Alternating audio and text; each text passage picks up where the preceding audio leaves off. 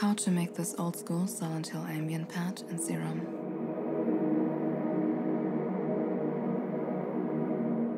Let's make this pad from scratch so you can follow. On oscillator A, I selected basic shapes and set it to 2 for a saw wave. In the wavetable editor, I clicked on morph crossfade so I can find a sweet spot for the position.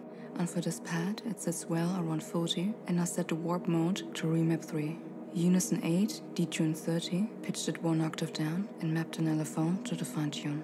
On oscillator B, I selected basic shapes and set it to 3 for a triangle wave. I did the same in the editor as for oscillator A and set the position to 34 and set the warp mode to remap 4. Unison 8, detune 30, pitched it one octave down and mapped an LFO to the fine tune. I added another triangle wave, two octaves up and set the volume level at 37. I selected J106 HP from the noise section. The main ADSR has a slower attack, around 400 to 500 milliseconds. Hold, decay and sustain is a default and a longer release at 2 seconds. For the filter, I selected band pass 24. I added some drive, fat and set it around 300 Hz and removed the resonance. I added hyperdimension, distortion, delay and drenched it in reverb.